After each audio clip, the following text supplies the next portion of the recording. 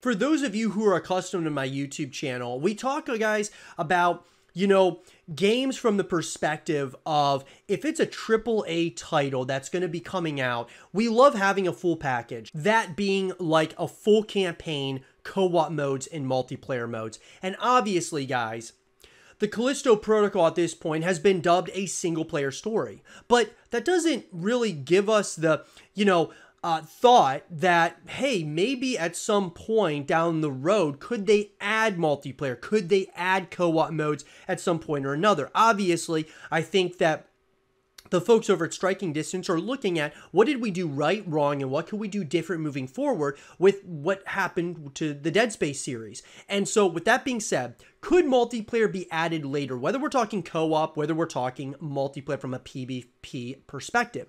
Let's talk about it. So, guys, in an article coming to us from Joseph Fonseca of Screen Rant, the Callisto Protocol won't include co op. Here's why Striking Distance Studio is focusing on a single player survival horror experience.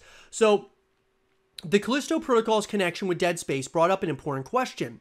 Will the Callisto Protocol include a co-op mode? Set on Jupiter's moon of Callisto, the Callisto Protocol sees players attempting to escape from the claustrophobic Black Iron prison. Though there's only a tiny cinematic trailer and a brief mention of the Callisto Protocol's connection to PUBG for fans to work with, the Callisto Protocol's reveal spurred speculation about how Striking Distance Studio would handle development in this difficult, uh, difficult genre. So, the key to the speculation comes from the fact that the Callisto Protocol's development team contains a number of industry veterans who worked on Dead Space and its sequels. The Dead Space series has had a mixed reaction from fans given the dramatic shift in gameplay between entries. Though the amount of Easter eggs relating to Dead Space scattered throughout the Callisto Protocol's trailer cemented the connection between the two games, players were left wondering how exactly the game would emulate the series and which entry would be the focus. Well, the Callisto Protocol's relationship with Dead Space was a major topic of uh, the brief Q&A hosted by Striking Distance Studio on their Discord channel on December 17th. While answering a question about the potential for a cooperative experience, developer Glenn Schofield was firm in his assertion that there would be no co-op mode in the Callisto Protocol. Striking Distance Studios main aim will remain a single player experience, a decision that will either delight or dismay fans of the Dead Space series, which included entries that focus on single player like the original and entries that focus on cooperative gameplay like Dead Space 3. So it's kind of like a double edged sword here, guys. So obviously, um, you know, Dead Space was victim to uh, this being an issue, right? You had Dead Space 1, transcended the horror space as we know it, in my personal opinion. Then Dead Space 2 took it another level, which I thought they even one up themselves um, in Dead Space 2 from a horror perspective and all that, from a story perspective, game more lore, things of that nature. And then we had Dead Space 3, um, and obviously Dead Space 1 and 2 being a primary, you know, single player experience. And then we go to Dead Space 3. Dead Space 3 to me, guys, was definitely a step in the wrong direction from not so much a co op perspective, but they changed what made Dead Space so great in the first place. They kind of chased a trend instead of kind of staying true to what Dead Space was all about.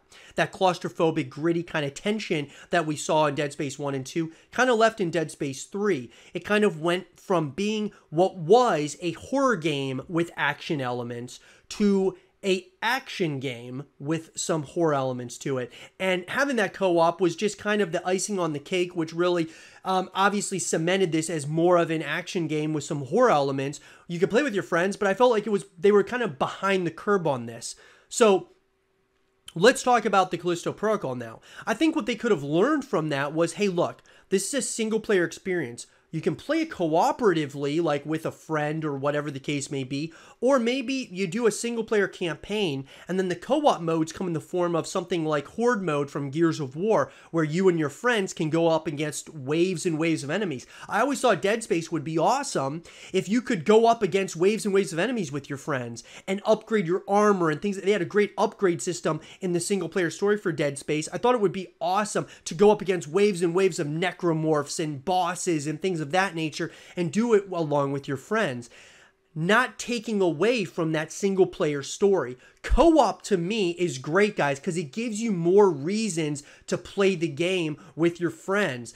Uh, it doesn't necessarily have to be the campaign but having ways to play with your friends, whether you're talking from a PvE perspective or even a PvP perspective, going up against other people across the world. Maybe you have something like beast mode, which where you had, you know, obviously your some people across the globe would play as the necromorph, say, and then you would be playing as Isaac Clarke and, and things of that nature, and you're going up against them and you're upgrading your armor, and there's just more ways, let's just put it that way to connect with this franchise.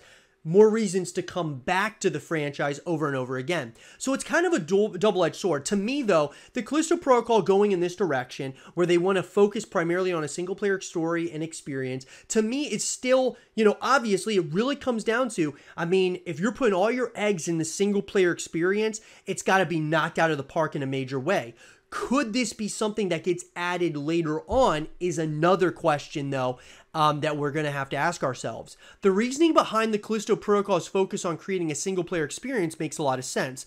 As Glenn Schofield himself put in uh, put it during the Q&A, fear is about isolation, atmosphere, and mood. Cooperative experiences tend to lessen the tension in each of these key aspects of survival horror.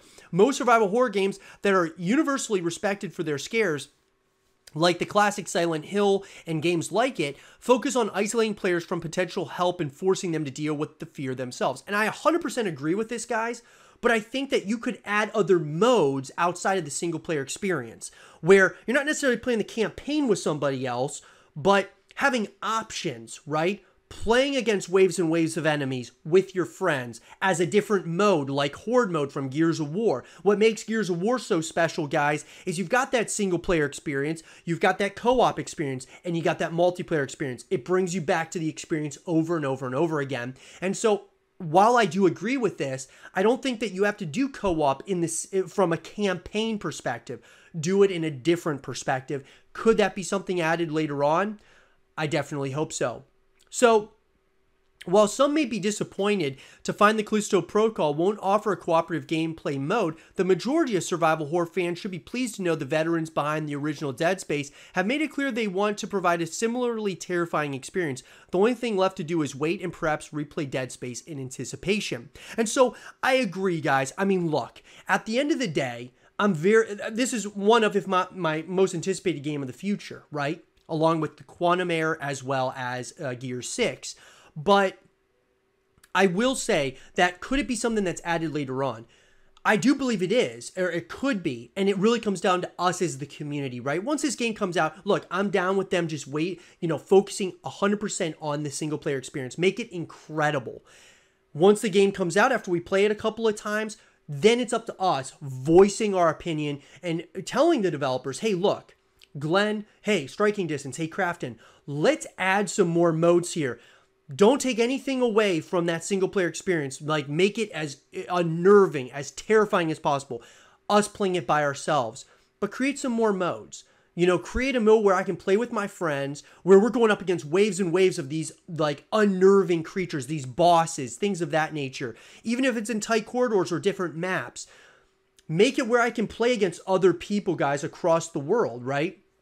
PUBG is obviously a, a, multiplayer experience that's incredible. And, you know, maybe they think, you know, you can go do that multiplayer experience with PUBG, but I think having it, guys, we don't get this much in horror games at this point. You don't have a lot of ways to connect with a lot of horror titles outside of games like Gears of War, um, you know, which really is more of an action game that has horror elements to it than a sheer horror, you know, terrifying experience, right? So I think it's important that more games kind of have ways like Gears of War to connect with the experience outside of just the single player experience. But that being said, guys, I'd love to have your guys' take on this, and I'd love to hear your thoughts about this in the comment section down below. Do you think multiplayer or co op modes will be added later on? What do you think it's going to take for that to happen in the Callisto Protocol? Let me know in the comment section down below. And for more of the Callisto Protocol content and videos, stay here with Zro TV.